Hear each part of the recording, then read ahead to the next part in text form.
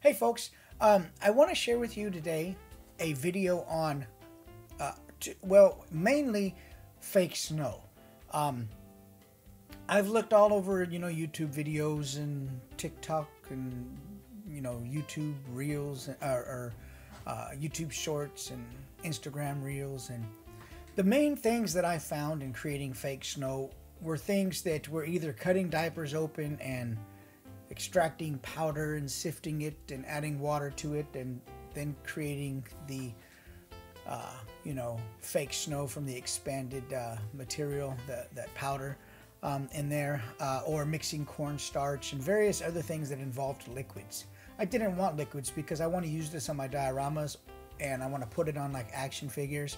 And i didn't want there to be any residual staining or um, you know any type of cleanup or dampness uh, that would potentially you know leave some uh, you know remaining marks on my figures or props. Um, so what I did find was that turned my attention to the use of different types of XPS foam, uh, like the kind that your stereos or your do people buy stereos anymore? No, wait, the kind your TVs. I'm old. not stereos. I don't think people buy those anymore.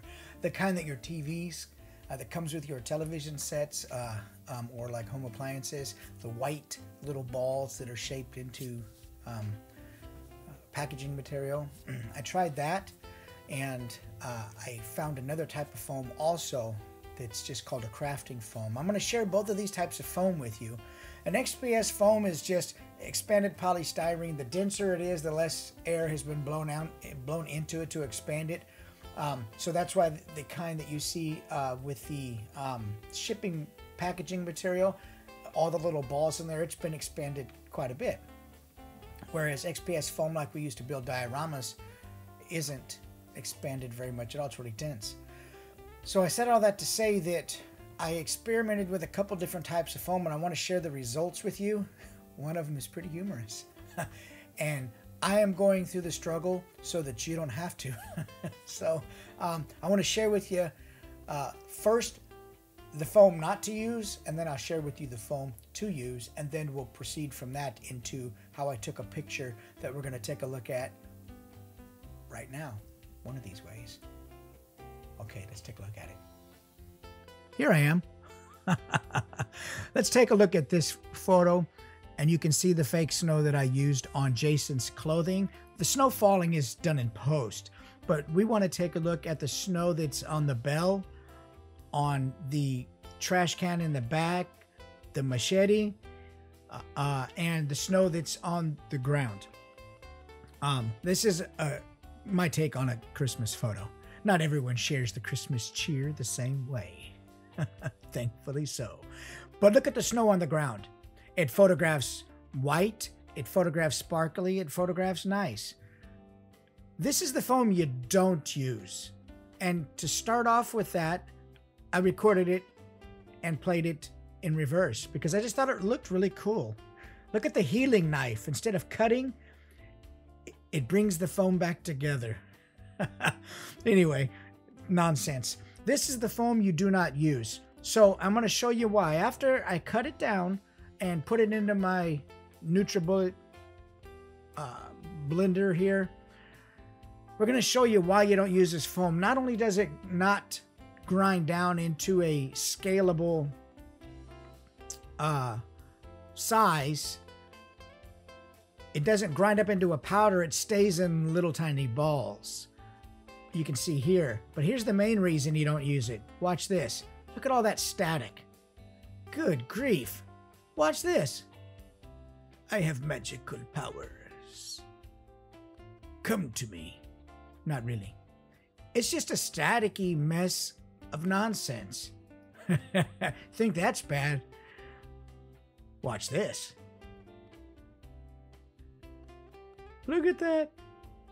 That's crazy. Even if there was some way to like de uh, electrify it, if that's that's a term, uh, it just doesn't grind down into a small enough piece that I think looks realistic. This does. This is not expanded polystyrene foam. This is made from recycled plastic. It will grind down to a powder. Look at that. Whoa, takes me back. anyway, when you're done grinding it, tap it down out of the NutriBullet blades because some will stay in there. And this is recycled plastic and it creates a little bit of a dust. Um, you might want to wear a mask. Rinse your NutriBullet or Ninja out or blender out really well. It's recycled plastic. You don't want to get that back into any of your food product. Um, I'm stubborn and old and I just don't care. So I got a nice looking snow out of it. So here we are in the studio and look at that. You can paint this around with a brush, move it around, put it where you want it, uh, and it's going to stay on the uh, dio. I'm working on top of a mat because when I'm done, I want to be able just to brush all that off and then pour it into a bag. So, you know, here talking about the light setup, this is really reflective uh, product, just like real snow is really reflective. So you don't really want to use, or I don't really want to use, a direct flash on this. I'm using a lot of bounce cards on this so that I can reverse bounce the light back onto the scene. Reflected light is always softer. And so we're to make uh, use of that quality in this shot because I want to retain detail in the snow through the photograph. Uh, so we're just I'm just setting up here and I've got that grid over top through the uh, circular uh, reflector shade uh, hood on there. Um, and there's a grid in there and I bring it out and I have a couple different ideas of lighting diagrams that I want to go with. But the main thing here is I, I really want to draw attention with the light to where I want your eye to go and I want it to focus on Jason but also I want that trash can in the back with the bloody Santa hand to draw your attention just a little bit more than Jason. So this lighting setup wasn't going to work for me. And it's okay to change midway through, try different techniques and approaches. So what I end up doing here is just lighting Jason with a bounce card. You can see here with the Lume Cube, flashing light back onto the scene, from the, the bounce card. Same thing in the light behind the window there. It's a Lume Cube with the reverse uh, flash. Then there's also a Lume Cube behind the door, but we'll get to that later. I'm going to change that lens hood from a circular lens hood to a snoot. This is going to light the trash can in the back. See that? See that? so um, it's going to really focus the light in the back where I want it, not create a bunch of light spill to light up areas of the scene that I don't want because the snow is really reflective. Position the snoot over the top of the trash can the way I want it and check it with the modeling light just to make double sure it's hitting where I need. Probably listening to some music in my head right there so I don't get a YouTube strike. but this is, is such a fun set. And it's a dio that I have built a few months ago. And the snow transforms it in a way that allows me to use it, you know, in a, in a different way. And so that helps keep the artistic motivation going while using some of the same props you might have. I'm just going to put my trigger on the camera here, a couple of double, double batteries. We're going to take a few practice shots here. And notice the diffuser on top of the dial. That is to give a soft light so we don't get that harsh reflection off the snow and get clipping. Um, you know, that snoot is just focused on the trash can, but there is a little light around it you'll see in the final images. I'm going to show you the before and the after of the final image so you can you know kind of see the adjustments I made in post were just adding some falling snow and uh, some color temp and some local some real local uh, adjustments uh, sharpening contrast things like that since I shoot raw, none, none of that stuff is added in for me. I got to go in and do it on purpose. I want control. But anyway, um, you know, and I took a few different shots. Look at the back of the camera. There's a bit of a different one. It's not the one I'm going to show you, but it's a much different composition. We got the light on in the back.